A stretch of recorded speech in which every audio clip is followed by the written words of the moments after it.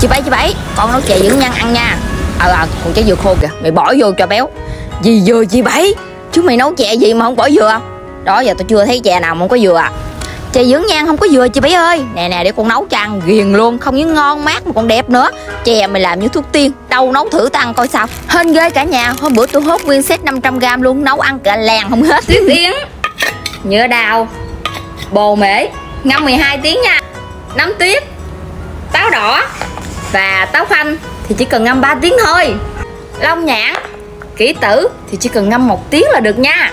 Riêng hạt sen thì chỉ cần nấu 30 phút cho mềm là ok bà có công nhận với tôi là hôm nay ông trở buồn vui ai không biết luôn mấy bà. Mà làm thời tiết tao nói nóng bức. Làm người ngợm lúc nào cũng nóng rang. Trời này thì chỉ có ăn chè thêm đá mới đã cho thiệt thịt thà cơm cháo thiệt nuốt không ngon nha mọi người. Xăm chút cho vui vậy thôi, quay lại với cái món chè nào, mấy cái nguyên liệu này sau khi các bạn ngâm cho nở hết á, thì chúng ta xả lại hai ba nước cho nó thật là sạch nha với một set 500g này á, thì mình sẽ nấu khoảng 4 lít nước nha mọi người. Sau khi nước sôi thì mình sẽ cho táo đỏ vào, nấu khoảng 15 phút. Sau 15 phút mình sẽ cho long nhãn, kỹ tử, nấm tuyết và táo khoanh đậy nắp lại và nấu thêm 10 phút nữa. Sau 10 phút thì mình sẽ cho tuyết yến nè, nhựa đào, bồ mễ và hạt sen mình đã nấu trước 30 phút rồi đó mọi người. Bây giờ mình sẽ cho vào luôn. Khuấy đều nó lên, rồi mình sẽ đậy nắp lại và nấu thêm 5 phút nữa nha. Sau 5 phút thì mình sẽ cho đường phèn vào. Các bạn có thể gia giảm đường phèn tùy theo khẩu vị ha, hoặc có thể thêm đường cát, rồi khuấy thêm một lần nữa nè, mình sẽ bắt đầu tắt bếp. Sau cùng thì mình sẽ cho hạt chia vào luôn nha.